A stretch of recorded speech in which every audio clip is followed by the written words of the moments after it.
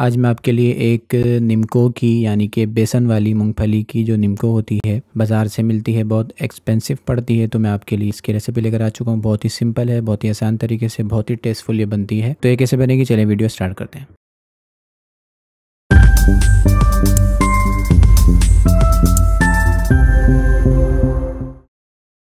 यहाँ मैंने तकरीबन एक पाव के करीब बाज़ार से छिली हुई मूंगफली ले ली ये कच्ची छिली हुई मूंगफली होती है। इसको मूंगफली की गिरी भी कहते हैं और ये भुनी हुई नहीं होती। तो आपने ये ले लेनी है। ये दो तरीके की मिलती है। एक बगैर छिलके वाली मिलती है और एक छिलके वाली मिलती है। तो ये हम लेंगे साबुत छिलके वाली। और साथ ही मैंने यहाँ पर आधा कप बेसन ले लिया चने की दाल का। अब उस बेसन के अंदर हमने क्या किया? थोड़ा बहुत पानी ऐड कर दिया और साथ ही हाफ़ टेबल स्पून नमक और half tablespoon chaat masala. पानी थोड़ा कम इस्तेमाल करेंगे। हमने इसके जो अमेज़ा बनाना है, वो थोड़ा मोटा मोटा बनाना है और अच्छी तरीके से इसको मिक्स करें। उसके बाद वन टेबल स्पून इसमें कॉर्नफ्लोर ऐड कर दें क्रिस्पी बन के लिए और फिर मिक्स करें। तकरीबन एक मिनट तक मिक्स करें तो ये हमारा मज़ेदार सा अमेज़ा बन के रेडी हो चुका है गाढ़ा गाढ़ा अब मैंने क्या करा, थोड़ी बहुत मूँगफलियाँ इसमें ऐड कर दी।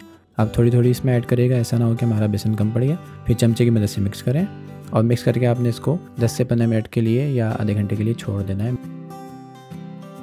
यहाँ मैंने एक बड़ा फ्राई पैन लिया, उसमें थोड़ा बहुत तेल ले लिया और उसको पाँच मिनट तक गर्म कर लिया, मीडियम फ्लेम के ऊपर। अब फ्लेम आपने लो कर देना है और फिर आपने जो मूँगफली वाला मेज़ा था, उसको आधा घंटा हो चुका है। हमने क्या करना है, हाथों की मदद से उठाना है और एक एक करके इसमें शामिल करना है। लो फ्लेम पे हमने इसको एक से डेढ़ मिनट भूनना है, जब तक कि ये ब्राउन होना ना शुरू हो जाए। ये तकरीबन एक मिनट मैंने भुना और उसके बाद ये हमारा जो बेसन था, कड़क हो चुका है और जो मूँगफलियाँ मिल रही थी मैंने उसको चमचे की वजह से अलहदा अलहदा कर लिया। फिर आपने क्या करना है? एक मिनट भूनने के बाद निकाल लेना है। ये मैंने थोड़ी बहुत आपको दिखाने के लिए ऐड की है, पहली बारी में।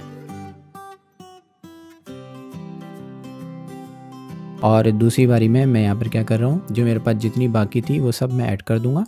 इसको भूनने से ये होगा, इससे हमें डबल टेस्ट मिलेगा। एक तो नमकीन ये हो जाएगी और क्रिस्पी हो जाएगी और दूसरा टेस्ट हमें ये मिलेगा कि ये भुन भी जाएगी। हम क्या करते हैं, जब हम मूंगफली कच्ची खाते तो हमसे खाई नहीं जाती, वो हमारे गले में अटकती है, लेकिन जब आप इसको इस तरीके से खाएँगे तो हमारी जो कच्ची मूंगफली होगी वो भी भुन भी जाएगी और साथ ही उसके ऊपर मज़ेदार सा, क्रिस्पी सा, बेसन का टेक्सचर भी आ जाएगा और जायका भी आ जाएगा। बहुत ही मज़े की नीम को बनती है। आप इसको घर में बनाएँ, बहुत ही आसानी से बना लेंगे। सिर्फ़ पाँच मिनट के अंदर आप ये मज़ेदार सी नीम को बना के रेडी कर लेंगे और आप अपने घर में, अपने घर वालों का इस रेसिपी के साथ दिल भी जीत सकते हैं। और लड़कियाँ जो है इस निमको की बहुत ही दीवानी होती है। आपने इसको ज़रूर ट्राई करना है। मैं आपको इसका फाइनल लुक दिखाता हूँ। ये देखिए, माशाल्लाह, बहुत ही ज़बरदस्त इसका कलर आया है और इसका टेक्सचर आया है, बहुत ही ज़बरदस्त सी लग रही है और बाज़ार से आपने भुनी हुई मूँगफली जो बेसन वाली होती है, वो देखी होगी। बिल्कुल वही लुक इसका आ रहा है और सिर्फ़ और सिर्फ़ हमें इसको बनाने में पाँच मिनट लगे हैं। तो वीडियो पसंद आई हो तो प्लीज़ वीडियो को लाइक कर दें, दोस्तों में शेयर कर दें और जो लोग चैनल पर नए हैं, वो सब्सक्राइब कर लें। मैं आपके लिए इसी तरह मज़ीद अच्छी अच्छी वीडियोज़ लाता रहता हूँ। मिलते हैं किसी एक अच्छी सी वीडियो में, एक नई रेसिपी के साथ। तब तक के लिए मुझे इजाज़त दीजिए और देखते रहिए मीनू कुकिंग सीक्रेट अल्लाह हाफिज़।